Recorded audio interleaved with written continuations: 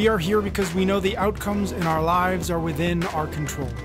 That taking absolute ownership of how we eat, sleep, train, think, and connect with each other is how we'll optimize our health and happiness.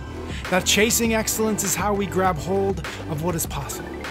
Our mission is to live on the run, always chasing, never stopping.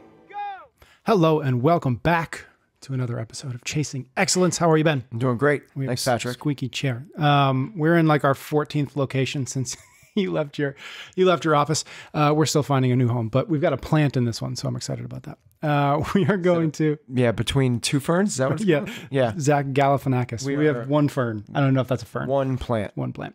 Um, we are. This is the first time I've seen you since the games, so we always, or at least we usually, uh, take the opportunity, kind of post games, uh, first recording to just get your thoughts, get your takeaways, get your um, whatever lessons you're pulling to kind of go forward to the next year. So that's what we're going to do again this time around. Uh, I think you've got like some maybe five or ten big kind of takeaways.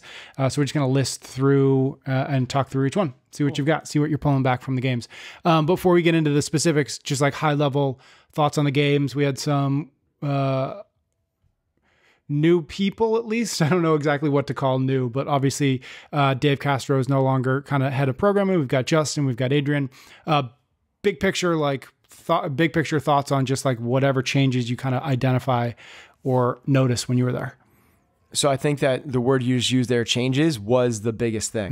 Is that there was changes. Um, there's a big question mark, right? Is um, is Boz Adrian Bosman just going to continue the legacy of what it was, or is he going to try to put his stamp on what he believes the test should be? And he did the latter, right? He mm-hmm. definitely put his stamp on what he thinks the test should be, and it felt new. It felt fresh. It felt different. It felt challenging. It felt the way the games felt early on mm-hmm. when the games was trying to establish itself. So the first year of the games, a little historical reference here. The first year of the games, it was just three events. There was the total, there was a trail run, um, and then it was this um, chipper, like basically essentially a Jackie type workout. And that was the totality of the games, three events. The next year of the games became very strength biased, a few short, higher power workouts. And because of that, everyone went to this strength bias mm-hmm. program. The next year, the games opens up with a 7K trail run. Everyone's like, oh my God. and it's these multiple smash fest days, th- maybe one of the hardest games ever, just in terms of today it wouldn't be, but the leaps and bounds it took that year. And then the next year it pulled back a little bit, and then we end up in California, and then it starts to settle a little bit by mm-hmm. 2014, 15.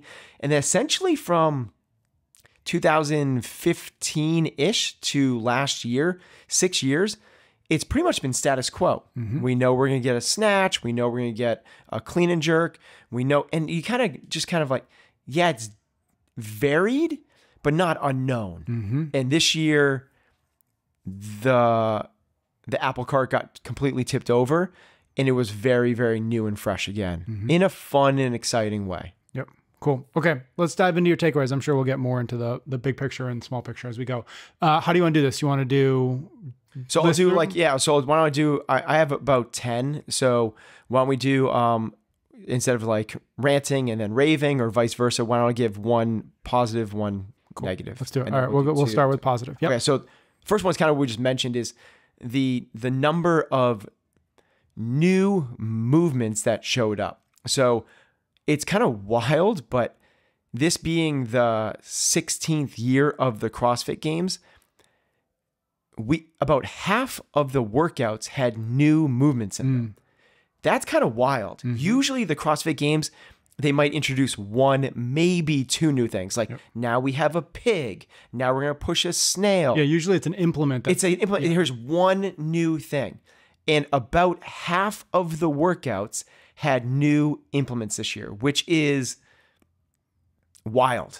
Uh, it's super exciting, um, and it made for a very fresh approach where every single workout was kind of whoa.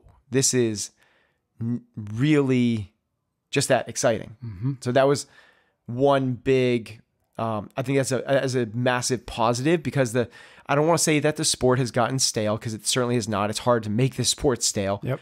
But it had gotten uh, somewhat repetitive. Yep. And the ability to put in things like and the legitimate tests, um, um, walking across parallel bars into static dips, Yep. never seen before. Legless pegs, never seen before. Um, seated L sit rope climbs, they got taken out, but never seen before. right. There was um, enough movements. Uh, uh, I'm trying to think of some other one. Oh, the the difference in the handstand push-ups that was in the Echo workout from off of blocks, like never seen that before. The And different facing the and facing, version. facing exactly. The jump rope variations. We've only seen double unders. Now it's singles and crosses and um, the up and over implements that we saw jumping over. It was just like, okay, this is. It, it's cool to see that we can still go unknown and unknowable, even though we're cracking into 20 years, almost two decades of the sport. Mm-hmm. That's cool. Love that. All right, Um, let's flip flop and do maybe a, a I don't know what we want to call it, but uh Okay, so the it's not this is um not really a negative, but something that a lot of the test was execution. Mm-hmm. Not necessarily just fitness. And I'm not saying this is a bad thing, but it was pass fail. Mm-hmm. It's like, can you do the movement? And if you can do the movement, you essentially kind of get to move to the next thing. Can you do legless pegboards? If you can, you pass. Mm-hmm. And now, can you do the single leg pistols? If you can, cool, you pass. Can you do the double under crosses? If you can, good, you pass. Can you do a pirouette into a, and so on? forgot about that one. Yep. Mm, So, and then it's kind of like the row. Can you row 1K under a 137.5 average? If you can, cool. You pass and you move on. Can you, even things like the run jerk was like, can you run this fast enough to have time to be able to jerk? And it's like, it wasn't necessarily just run jerk. It was, you have to have this one to be able to do this one Yeah. you weren't uh, able to work on um compensatory pluses and minuses it was like you need it was kind of like the old school fitness standards test that used to be in CrossFit. You need to be able to do all 10 of these before you move to level two. Yep. You need to be able to do all 10 of these before you move to level three. And it felt a little bit like that. Do you have these skill sets instead of just who has this work capacity, who has this strength, and so on? So, mm-hmm. So you couldn't like it was harder to make up room in a workout Exactly. where if you couldn't do the one thing, if the workout had been run jerk and you're a slower runner but you're a stronger lifter Yep. okay that's going to balance out Yep. as opposed to here's the run here's the jerk Yep. instead of like can you run row and then can you do, it's like can you do th- it's just like here's all the skills can you pass the test and so on so not that's my least i'm not i'm not i don't think that's a bad thing Mm-hmm. it's just not something i was pumped about Yep. Got it. Okay. Third thing. Let's go back to positive. Okay. Um, the fact that they are, and it's kind of like these are kind of all sit in the same neighborhood a little bit, but it's nice to see the gymnastics requirements be elevated. If you think of our sport in terms of three different domains, in terms of um, your strength, your skills, gymnastics, and your um, conditioning, your monostructural run, row, bike, ski, and so on. Under the previous regime, Dave Castro, there's a lot. It's we saw a massive requirement for strength. Mm-hmm. Essentially, any top level CrossFitter could walk into the American Open and qualify mm-hmm. with their strength numbers. Mm-hmm. They nobody could do that in a track and field event because we weren't asked to do it. No one's numbers. So, pretty, for example, um, a CrossFitter, a high level CrossFitter, would have about a 355 pound clean and jerk. That qualifies for sure for that weight class. That qualifies them for the American Open mm-hmm. for sure. That's So that's really, really high level strength abilities. Mm. It makes sense. We saw true one rep max cleans by themselves and jerks and snatches every single year. Yep. But our gymnastics requirements were so low. Let's do some muscle ups. Let's do some pegboards. Let's do some box jumps. Let's do some alternating pistols. Let's do some hands. This year, man, we got back to the roots and it's written right into 100 words of fitness. Practice handstands, pirouettes, dips. Like we saw those things. Dips, we saw pirouettes, we saw the requirements went up a lot. Now there's also and bridges to presses. Um, I'm sorry, um, uh, presses to uh, the L sit to press. Yep. That's written right into 100 Words of Fitness.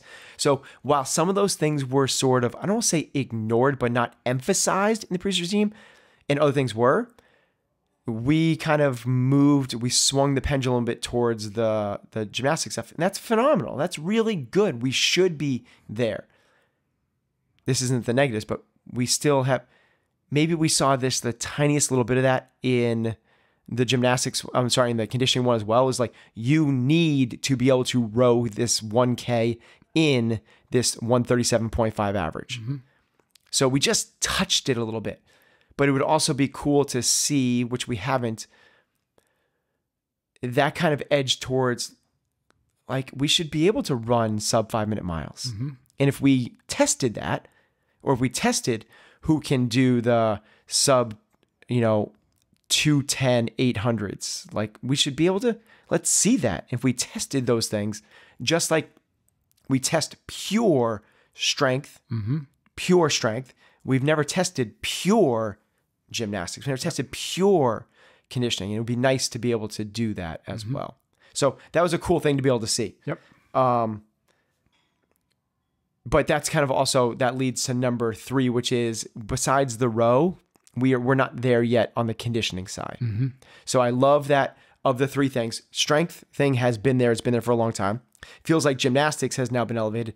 I would like to see uh, uh an, an additional move towards it on the monostructural side as mm-hmm. well, which we just got a taste of with the 1K row. Got it. Would the bike fall into that, or is No, that, because it's like it's just blended into it. If Yeah. the bike was um 20 minute FTP at what's your 20 minutes Yep. max test and they did it for um the masters, they did a 5k pure straight up bike. Yep. I'm sorry, not 5k, 5 minute pure test. So then we're getting there, right? Back way back in the day, they tested an 800 meter run, but we haven't seen that really. I'm saying like we test the singular thing. Yep. The singular. If it's not, if it's blended into something, it's not the pure test. Yep. And very, very, very rarely do we ever see a pure test of anything other than clean, jerk, snatch, dead, front squat, back squat. Yep. You know, whenever we see a run, it's intermixed with something else, or it's a 7K trail run, mm-hmm. which, okay, but we don't know how to compare that to the world class. So we don't know what our ability is. I don't know if we're scared to show it or not, but what is our one mile run? What is our 2K row? What is our, if we're doing it for clean jerk, straight up, measurable, here's the best in the world for clean jerk, snatch, dead, squat. Cool. That's where we stand in CrossFitters where are we with the other gymnastics? Where are we with the other monostructural? Mm-hmm. We should know that and not swim in the ocean. No, what's our 500 meter swim in a pool so we can measure it against the best? Hmm, interesting. Is there a what is the core? What is the version for gymnastics? Because you think about gymnastics and and like quote unquote like proper gymnastics. Yeah, it's such skills and skill. abilities. Yeah. Right. So it's So like what is the what is the pure test in your we're mind? for- getting that's what we did this year. Yeah. We're totally getting there with like the the press to handstand. Yep. With the pirouette, but we're like you know, the next thing that hasn't been tested that's in that 100 words is splits hmm. and flips. Mm-hmm. Mm, flips. Yep. So, okay, can we do flips? Back in the day on main site, they showed a whole bunch of athletes doing backflips. Yep. So, can our athletes do backflips? Hmm.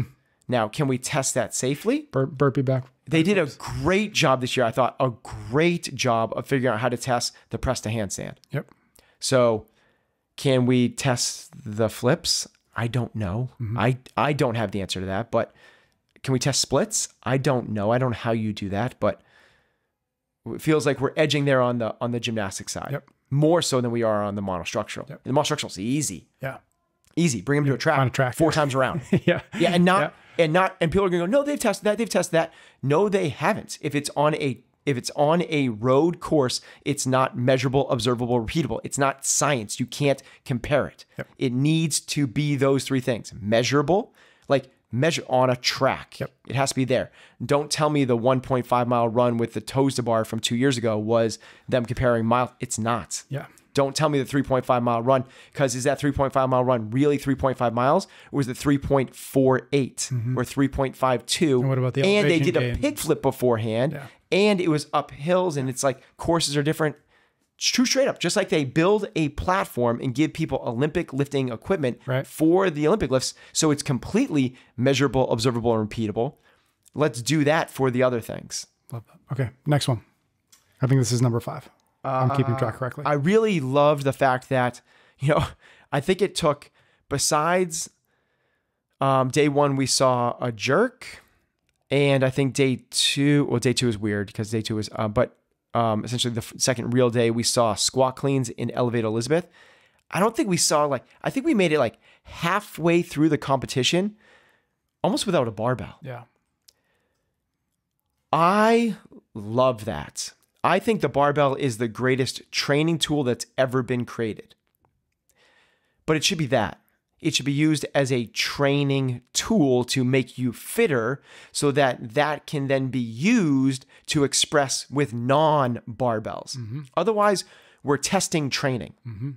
And in our sport, we should be testing who is has the beta, greatest breadth and depth mm-hmm. of capabilities.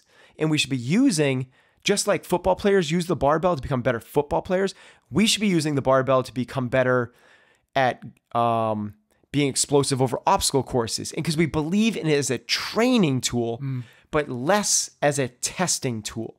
I thought the use of the barbell this year was phenomenally implemented. Mm-hmm. And then towards the end, we had that really barbell intensive piece, which I actually loved the speed down and back with the back nine and end up with, you know, the squat cleans and the deadlifts and cool. Like we saved it towards the end, but gosh, we had like so many tests that didn't involve a barbell. And that to me is the way this sport should be. Not saying we shouldn't use it in training because it's the greatest training tool that's ever been invented. We should continue to use it, but we should be using it as a thing that transfers to other stuff. And we should be testing the other stuff. Love. So love that. Yep. Um, what I didn't love, kind of the same thing in terms of format type stuff, is intervals are an amazing training tool. They're not a good spectacle testing tool. Uh, mm-hmm. tool. Mm-hmm. If you were at the games in multiple events, the announcer, the play, by the way, the place was packed, mm-hmm. packed, like which is so cool. The announcers multiple times were saying, "Why are you so quiet, Madison? Let's hear you cheer." And it's so easy. The reason they're not cheering is there was nothing to cheer for. Yep. In an interval-based workout, you don't know who's winning. Yep. So you don't even know who's winning when the event is over. You have to wait 20 minutes for them to update the scoreboard to know who won. So where is the drama and where is the excitement?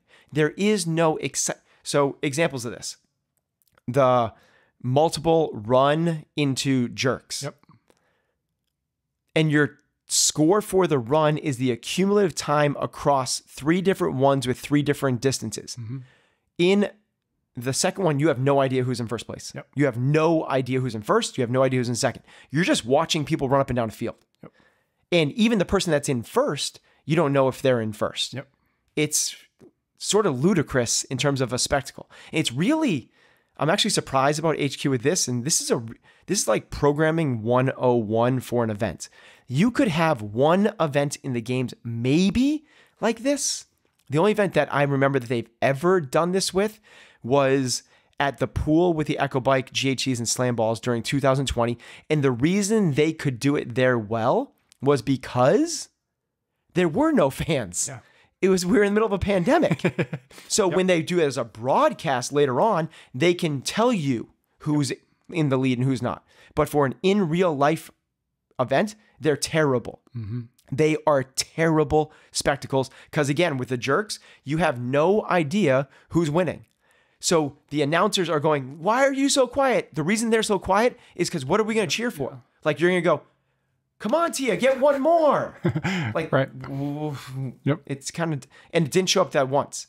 It was that event. It was also the, um, the swim event. You don't know who's winning. Totally, yep. It's like okay, like More swimming. Yep. more swimming, more skiing. Don't really know what's going on. Yeah, there's this little board up there, but it's impossible to read. You have no idea who's won until they mm-hmm. post it at the end. And then the the race down, the wall balls, the squat snatches over multiple events. Yeah, that that person Guy won the first one, but he didn't win the second one. Who's winning? It's like mm-hmm. it's there's no drama, there's no excitement. Yep. So loved the format in terms of less barbells, but did not like because barbells great training tools, not shouldn't be the number one thing we're testing. Kind of the opposite for this one. Intervals great training tools. We should be using them in training, but not the best testing Yep. piece. Got it. Next. Um, kind of staying with the, the no barbell thing. Mm-hmm. HQ really um, pulled a rabbit out of their hat this year in the semifinals when they went away for one of the first times from a one rep max for their strength test. Mm-hmm. Especially a one rep max snatch is um I know everybody loves it, but it's actually the least I don't want to say that because there's like deadlifts and backs, but it's very low drama slash excitement because within a second or two, it's over. It's just mm-hmm. whoa, miss, Yep. whoa, lift, and just the standing up that's excitement. Yep. A clean and jerk is more because here's the clean Yep. squat. Oh, there's more grind. Yep. Most people, if they catch the snatch, they're going to stand it up. Not necessarily the case for a clean. There's more points to like More places to screw up. exactly. Did he get under it? Yep. Is she going to stand it up? Is she going to get it overhead? Is she going to stand that up? More Mm-hmm. place for drama. Well, in semifinals, they figured out even more by doing a complex. Yep. And when you have a complex, now the drama really builds, especially over multiple reps. Well, they kind of figured that out a little bit to like how long can an athlete suffer and struggle Yep. with the one rep max? And they nailed it with the bag Yep. because the bag Yeah. is um, if you're Cole Sager is 49 seconds of struggling. And you the crowd wants to Yeah. will you through it. Yep. And that's when it gets to be this really cool thing. They could have done a better job, I thought, with the format of it. Yep. But in terms of the test for the strength, also love that it's new, different. No one trained for that. I I promise you, because athletes don't have that equipment. Yeah. We've been training for the sport for 15 years You know, and we don't have it. Yeah. And that was an amazing, awesome. And it speaks to your your point before about barbell being a great training tool, but let's see how that transfers to something strange, right? So something cool. different. Yeah. It's so cool. So loved, loved, loved that as a test. And um, right when they announced it, that's where my head went. It was like, yes, this is going to create the drama. It's like, can you create the drama? The exact opposite of what they were doing with those interval tests. Yeah. No drama. Yeah. Like Yeah. it should be a spectacle. It's interesting. It makes me think there's a there's uh, I remember you guys training with it, but there's you guys have like heavy D balls here, and it was there's it always makes for interesting drama to, to be like okay max hold for time Yeah. this whatever hundred pound D ball two hundred whatever the the weight is something like that is really interesting because it's like okay everybody's gonna get to a certain point and then it's like all right who's grimacing who's letting go who's who's shaking right Yeah. so it's a it's strength, but it's strength and back kind of to your point of that kind of introducing a, a level of drama that makes the viewing experience elevated, but also is an interesting test of It has let's see how we it make first and foremost has to be a legitimate test. right. And I don't know anybody that's going to argue that who who can put the most weight from the ground up to their shoulders isn't a good test of strength. Hundred percent. Like that's what strength is, a productive application of force. Can you move an external load from point A to point B? That's such a great, especially against gravity. So not like not necessarily a farmer's walk, not necessarily a yoke. Like true strength to me is against gravity, up, not horizontal. So that's such a phenomenal test. Mm-hmm. And can you do it with good standards? Meaning like not just throw it over your shoulder because did that person Right. reach full? It's, it's they they nailed it Yeah. really, really good. There's a couple grays where people were holding it down low, and I thought the judges did a pretty darn good job of figuring it out on the fly of Yep. what the and true not standard having is. not having checked a thousand of those Yeah, reps right, before. yeah. It- after And they knew that they only have like a split second to be like, Right. is this good And or how not? do you test that? Yeah. Like who? You, this is what the other amazing. This is like kudos to them. We were talking about this afterwards. How the hell did they test that for the women? Hmm. And talk about nailing the weights. They literally got down to the last bag, had two athletes. Like what? Yeah. Perfect. And only one athlete could do it. Mm-hmm. That's literally the most amazing. like, how do you test that? yeah. Everyone that can test that is in the competition. Right. How do you do that? Yeah. We were, I was You like, add percentages. To I was like, li- like, this is incredible. Like, they're not having Ali Scuds, like, to test Right. that. Like, who is doing this? And maybe they did it with a super strong guy and they did percentage work Yeah. down, but then they missed it on the guy's side because they had to bring out Mm-hmm. two extra bags. So, like, how do you, Yeah. but they nailed it. Like, kudos to them for the girls' side. They were super close on the guys and they improvised on the fly to make it the appropriate test. And man, it was like maybe they could have started the bag um, one or two heavier because everyone passed through the first. Yeah. But it also gives the athletes a chance to touch it. I don't think that was wrong. Yeah. I just think that the format was a little bit wrong. They could have had more or less. I just like. But anyway, I, I love that event. Yep. I think most people did. I agree. Yep. Um, okay, cool. I think number eight is now. Uh, what I didn't love, and I love the test, but they messed up, is why in the world is there any confusion over how many laps people did on the bike? Yeah. Like, how in the world is that a question? It's not the athlete's responsibility. When your I was wondering. Yeah. NASCAR does not leave it up to the cars to count their laps.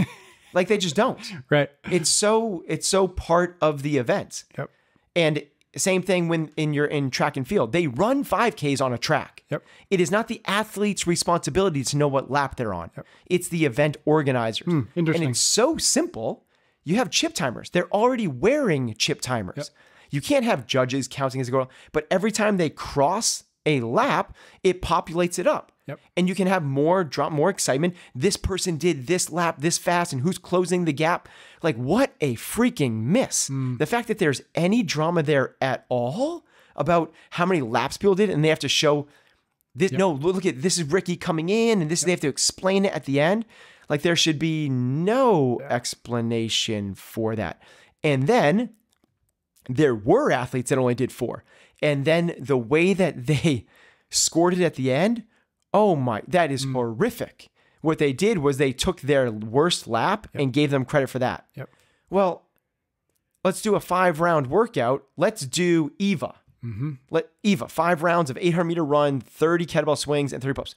I'm only gonna do four rounds Right. And then double, and take, double and take my, slowest. slowest round Yeah. and give me credit for that. Yep. Not only have I not finished the event, they haven't finished the event. Yeah. It's a DNF. Yeah.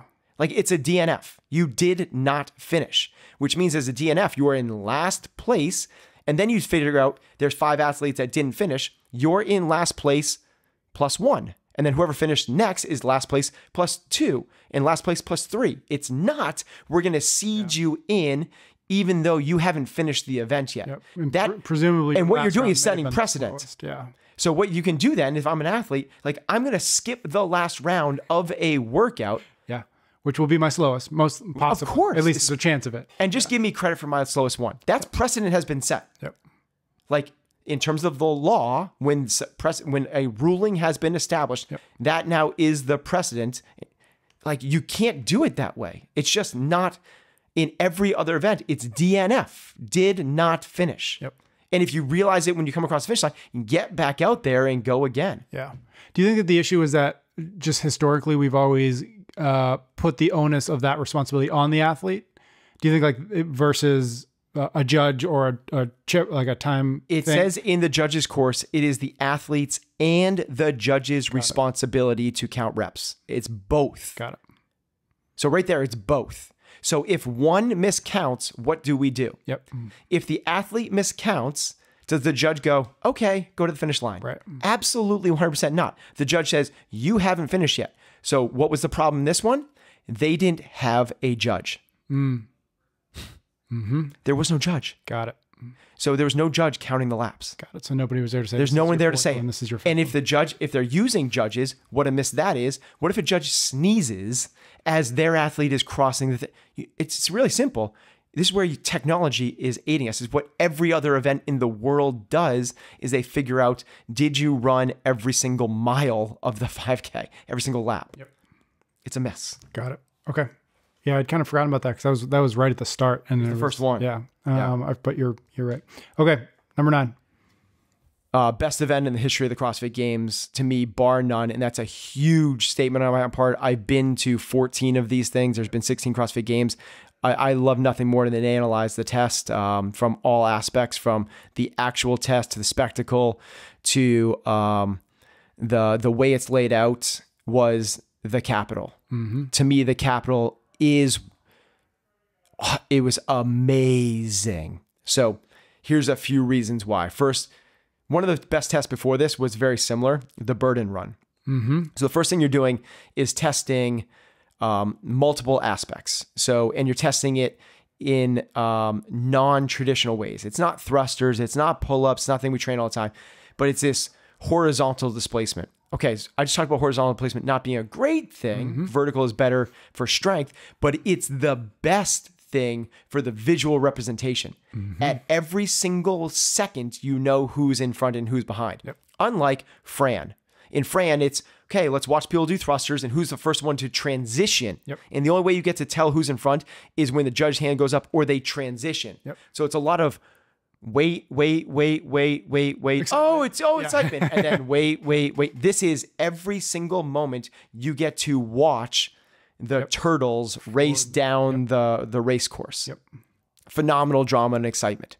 The next is the accordion style of this of the test, which is um, the big athletes get out in front in the pig flip and way out in front. Cool test. All the way down 20 flips. So the big athletes, like Amanda, who I was coaching, comes off first a minute and a half ahead of an athlete like Haley Adams. And then during the five, uh, the, the three and a half mile run, here's the chase. here's the chase. And well programmed, it's long enough that not only is enough for her to catch, her to catch and pass by two or three minutes. Yep. Cool, right? So now you have this Yeah. the lead dogs get out. Now there's the accordion where get the back end gets pulled in, and not only do they catch, but they extend out the other way. Mm-hmm. This is cool. And now what do you have again? Another chase. Another chase of the big ones trying to reel in the little ones. Pick one of the It's yeah. so it's such the best test. Yeah. It's the best test. And not only that, you have it in three different venues.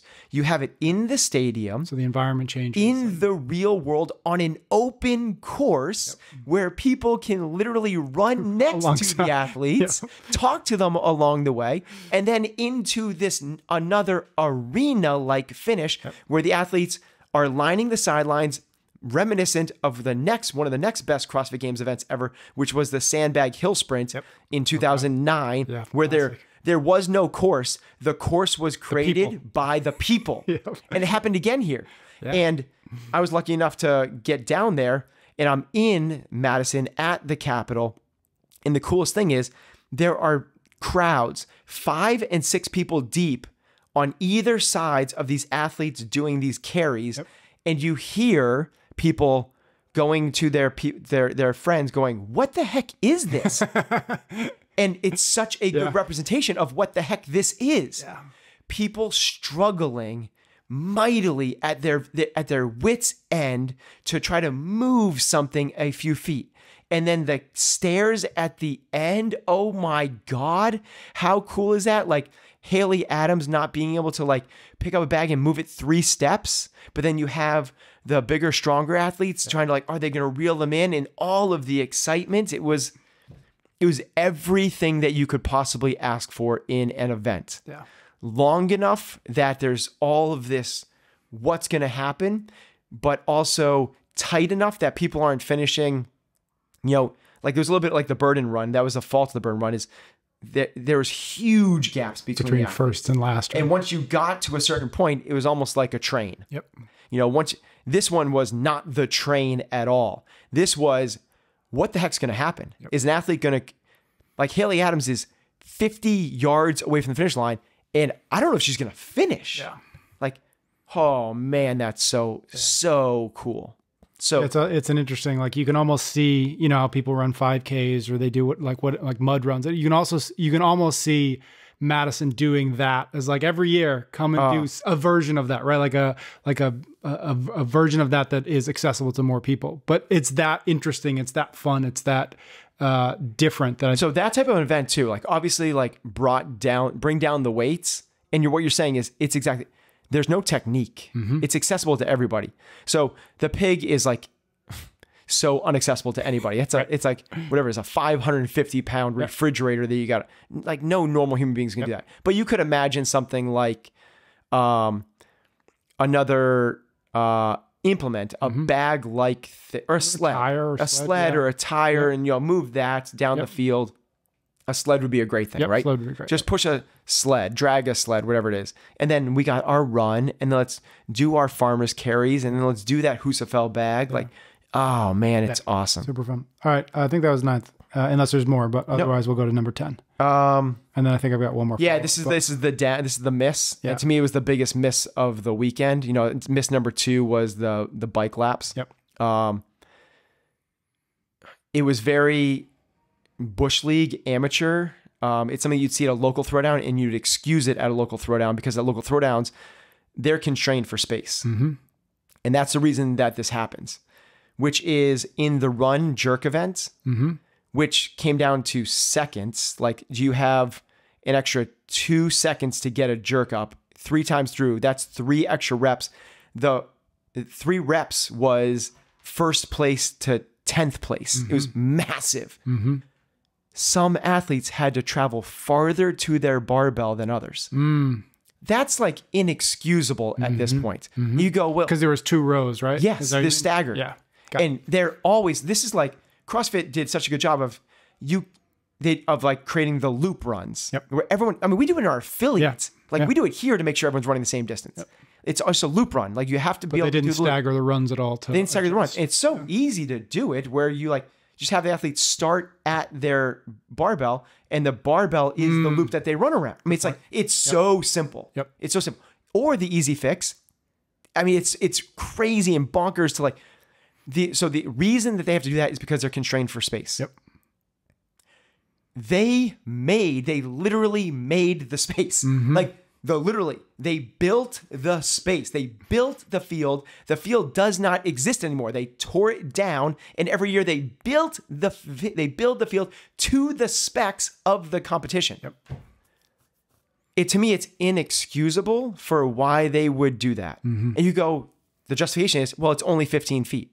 Okay, so if it was 100 feet, would you say that's fair? Of course not. Yeah. Like it's so unfair. Where's for- the- yeah. So if it's not 100 feet, when does it become even? right. Is it at 50 feet? No, that's not fair. Is it at 20 feet? No, that's not fair. Is it at 15 feet? No, that's not fair. It's at zero feet. It's a fair, leveled playing field. You have to create a level playing field for all athletes. That to me is just a, an astronomical miss. It's something that you would allow at a local throwdown, but you should never see at the games. Yeah. All right. I don't want. I don't want to end on a negative poo poo. That's not. How, that's not how we roll here. So anything maybe we didn't talk about, nothing on your list that's maybe worth mentioning as a, as a you know left a good taste in your mouth, and we can kind of wrap the conversation up with. Okay. Uh, yeah. So we'll go like a, um, 10 A, A and B. So I like both of these. There's two more. The first one is loved the way they did the cuts this year. Mm, yep. Cuts are good. Yeah. I, I want cuts. I know people are like, if you're, if people that watch from home, I get why you don't, you don't like cuts, but when you're at the events, you're watching eight heats Yep. of the same workout. Yep. Could be between men and women. Oh my God. Yeah. Yes. Four heats of men, four heats of women. It's just nauseating. Yep. And it's not, and so to get down to a lower, and they only went to six heats. It's of three of guys, three of girls. I don't like, and I think that like, that was only for the last day and they kept 30. So they allow middling to happen, which is also cool, meaning like people from other heats do well and they Yep. enter the top 10. I, th- I thought the, he- the cuts thing was and you didn't hear anybody complain about it. Like usually there's lots of Yeah. It was really well done this year. So really like that one. Next one I really like this year, and this is gonna be this isn't gonna affect anybody other than 40 people, which is um, the way they took care of the coaches this year. Um, in years past, coaches have been more of a nuisance to them. I can't know how else to say it, but they already need to take care of 80 athletes, and now they have to take care of 80 coaches as well. That's additional logistics, manpower, time. It's a lot. And this year they did a a really phenomenal job, and it was very much appreciative of um, making us feel welcome, like an asset, appreciated, cared for, a part of the event. And it seems to make sense considering that's like the business model of mm-hmm. HQ Yep. is creating coaches. Yep. So we are kind of, yes, the athletes, yes, it's Forging Elite Fitness, but the business model is affiliates, which is coaches, and seminars, which is building coaches. Yep. So I, I, I think it it makes sense to celebrate Yeah. both of those. Yeah, in the same way the games celebrate the elite Yes. of the elite of the athletes, coaches there are the coaches elites that are getting the people to be there. And maybe in years past, it was kind of like, well, the athletes are the ones getting themselves there, and you guys, because it was Yep. in the past. And it was like, you guys are the, the wives and husbands who are lugging bags around for them. Yeah. Some people bring their moms and dads as coaches. That era is gone. Yeah, like these guys are professional athletes with professional coaches. The vast majority of them have camps. coaches and yeah. And yeah, yeah, the vast majority. It is very, very rare to see a husband, wife, or friend back there supporting the athlete. It is professional coaches back there doing professional work. Mm-hmm. So it's cool to see them recognize that. Very cool. All right, we'll wrap this up. Are you excited about the kind of the new regime of of the games? You know, thinking about the next two, three, four years, or do you feel like this was a good harbinger of like, oh, this is gonna be fun for the next couple of years? Yeah, I am. Yep. Cool. Um, it's not that Castro did. Castro did a as good of a job as anybody possibly could have done in the world to get the sport to where it is. But everything, Yep. like fresh blood, is always good at a certain inflection point. Not fresh blood for fresh blood's sake, but at a certain inflection point. Being almost two decades in seems like this is an appropriate place for it, and I am excited about that. If they were to announce that Dave's coming back, cool. Even like this new kind of like, whoop, here's we got this kind of like pendulum swing a little bit this way. I still think was beneficial.